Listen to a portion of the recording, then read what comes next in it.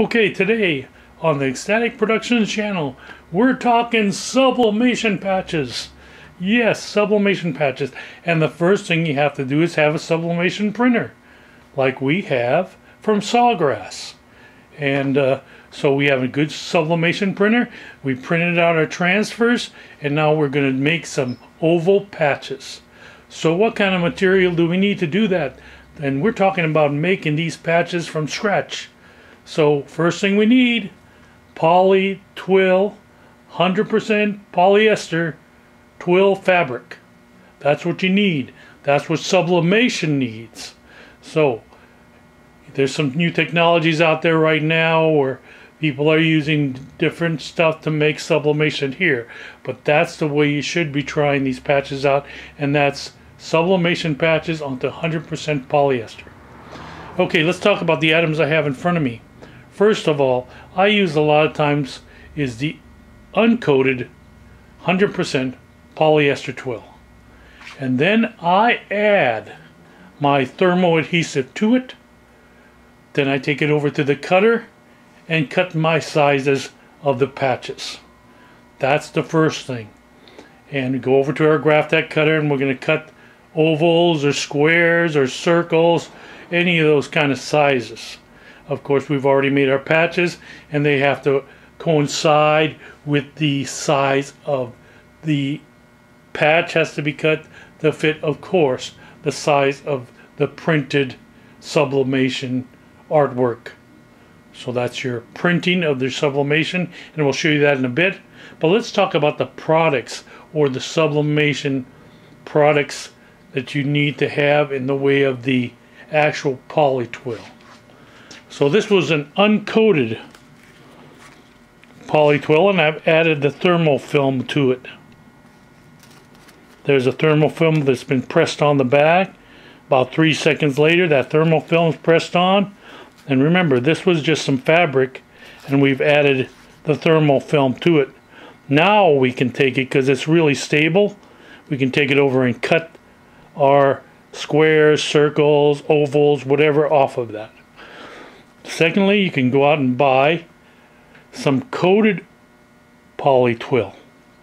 Now the coated poly twill is this right here in front of me, touching it. And it has sort of like a paper back. And then of course in the front it's going to have your poly twill. Looks almost exactly like that other poly twill. Except for it already has adhesive on here. This is the adhesive here. So you don't need to put it on there. It's more expensive it's going to be more money. Already has that in there, so it's going to save you that time of pressing on the thermal adhesive. So this is a product. So we're going to sublimate this. We're going to sublim. We've already sublimated this many times before. We're going to try sublimating these other products.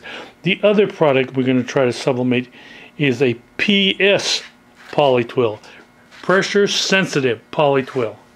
Now that pressure sensitive polytwill also in white. Everything has to be in white, of course.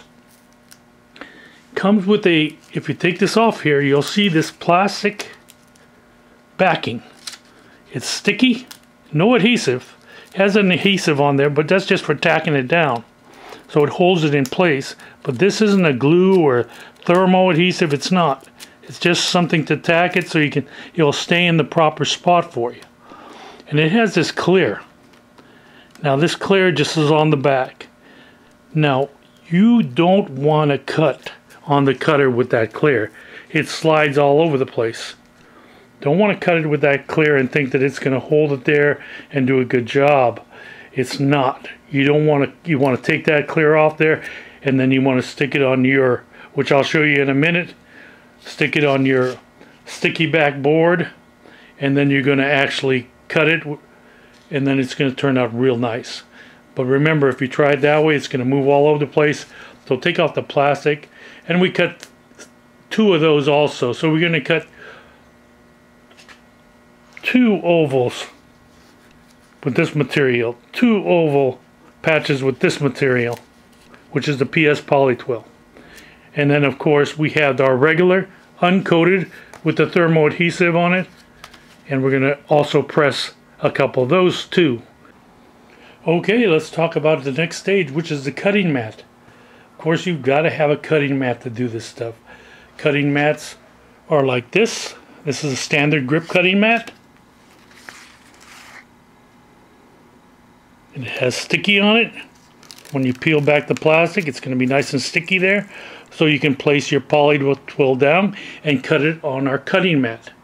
So that's going to load into the cutter and you're going to cut out your templates of the oval patches, the circles, whatever type of patch you're going to have. So that's very important that you have those. They're not that expensive. You always want to have those in the shop and that works great with all the materials that you want to use and not throw away.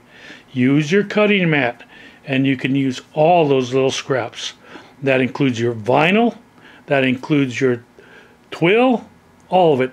There's no reason to throw it away with cutting mats. So they do after a while get to the point where then they don't get that sticky in certain areas. So you can spray a little of the spray tack on there lightly and that will hold it in place. When they do get worn out, of course, get more. They're not that expensive. So let's talk about the next thing, which is actually right there. We've set it up when we printed them out, as you can see here. Just like that. And we're going to set that up. We're going to put the tape on there. That tape just holds it in place so it doesn't move when we press it. So we have different types of poly twill. This is the uncoated poly twill. And this is the PS poly twill. And this will be the basic poly twill coated. That means it has adhesive already on it. You don't have to press it on. So you got three items and we want to see the differences in pressing them all at the same amount of time with sublimation and see how they turn out.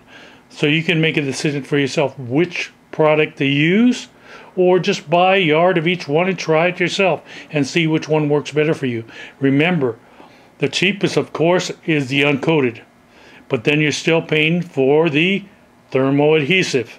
So plus you're doing that extra stage of pressing it on, which I've done for a long time and it works out fine. Now it looks like the coated is a little thicker even after you put on the uh, thermal film or the thermo adhesive. It's a little thinner than when they send you the coated uh, poly twill. So that seems like it's just a little thicker, and that's good. So let's see how it presses. So we're going to go over to the heat press next. We're going to press these things. Let's see what, see how it turns out. We're just trying to make some sublimated patches, and this is the first stage of it, which is deciding what material you want to use in the way of the poly twill. White 100% polyester twill material. We'll go over to the heat press. Let's get these going. Now we're going to press our pressure sensitive PS poly twill. Same amount of time, 60 seconds at 400 degrees. Now you can try 45 seconds, but I like to do the 60 seconds. I've done the same on all three types of material. The uncoated poly twill with the thermo adhesive, the coated poly twill, and now the PS poly twill. So we're trying to keep them separated so we can see the differences in them. And remember, constant heat is the thing that has to be constant heat. 400 degrees is very important. That's why you pre-press, get that press as hot as you can. Press it for a minute or two with some t-shirt under it, something under it, get the press really hot, and then go into it and start pressing them. Now you can gang these up. So you can do like as many as you can get on a sheet at one time. And once you get it going into production, just keep it going. Remember, let them cool off. If you're using the parchment paper, definitely just let them cool off and then peel them back. Here we go. See, sometimes they'll stick on there a little bit. We're going to let that peel off cool off and then we're going to peel it off and it's going to turn out nice. If you want to press it for a second or two on your material here, which is your silicone um, silicone material, it will flatten it out even a little bit better if you need to do that. Yeah, I recommend that you do. Sometimes there's an edge that's up or you want to get it a little flatter to go onto your embroidery machine. You can do that. It's not going to hurt it one bit. These look good. And let's take it apart. Let's see. Let's let it cool off and we'll take a look at it in just a minute on the Xstatic Productions channel. Okay, we have finished samples and then we have a few that haven't been embroidered yet on the outside with the satin border. So you get to see them at the top. We have the uncoated with the thermo adhesive on it. In the middle we have the coated polytwill and then at the bottom we have the PS polytwill. They all turned out pretty good and you know it's whatever works for you uh, what's cost effective for you. Remember, you can buy these products at Stahl's, and they're great at helping you um, and getting you some samples in your hands and getting a yard of each one and trying it yourself. And then you can see you can do sublimation patches, or you can do any color patch if you got sublimation. So you can make any color on the inside of a patch just by using sublimation. Or you can just take and cut some vinyl which is the heat transfer vinyl, and you can press it on there and make any color that way also. So there's plenty of things you can do with these products. And so talk to Stahl's, they'll help you as much as possible. And I hope you enjoyed this video, and we'll see you next time on the Xstatic Productions channel. Subscribe!